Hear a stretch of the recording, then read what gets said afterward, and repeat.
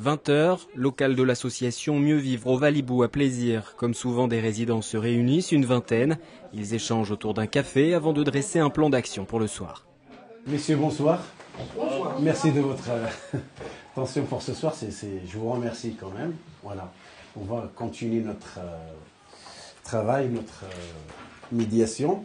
Vous savez, comme ce soir, on n'est pas, on n'est pas l'État, on n'est pas la, police. Vous savez ça On n'a aucune évaluation juridique.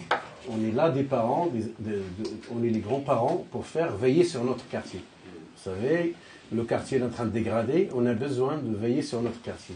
Nous, les parents. Depuis plusieurs mois, avec des moyens du bord, ils chassent les incivilités commises le plus souvent par des squatteurs. C'est des jeunes de quartier, comme mon fils, comme mes enfants. C'est des jeunes, on le parle gentiment, mais ils sont vraiment, ils écoutent, ils disent bon, il n'y a pas de problème. Le but, il ne faut pas dégrader le quartier parce que ça coûte trop trop cher. On est en crise en ce moment, les gens, ils ont du mal à payer leur loyer. Si vous leur ajoutez encore de, de, de dégradation à payer, euh, c'est un peu... Ce soir-là, quelques jeunes avec eux autour de la table et un message parfois encore difficile à faire passer. Nous, on n'a pas d'activité, il fait froid dehors, on est obligé d'aller dans les bâtiments. Et voilà, nous, après l'école, quand on sort de l'école, nous on fait quoi? Nous on fait nos devoirs, après on sort, il y a quoi à faire? Il n'y a rien. On va au stade, c'est privé. C'est par petits groupes de 4 à 6 personnes que ces patrouilleurs évoluent de hall d'immeuble en hall d'immeuble, quelques mètres à peine, et première halte. Voilà, on constate ce vitre n'était pas cassé hier, aujourd'hui il est cassé, vous voyez. Et ça c'est mauvais, ça fait 300, 350 euros, ça, ça nous coûte, nous les parents. L'inspection se poursuit dans l'immeuble, étage par étage. Pas de nouvelles dégradations. Ce bâtiment attend d'être rénové dans les prochains mois. Ces patrouilles, c'est aussi l'occasion de rencontrer les jeunes. Un peu plus loin, un échange s'engage avec deux d'entre eux. L'action des locataires est saluée, mais les mêmes revendications ressurgissent. Pas de lieu pour se rencontrer, mais aussi pas d'emploi.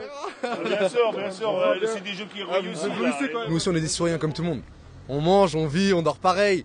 Maintenant, euh, la seule différence, c'est l'emploi. L'emploi et puis la, vie sociale, où on vit exactement. Nous, on n'est pas des méchants, euh, on accueille tout le monde.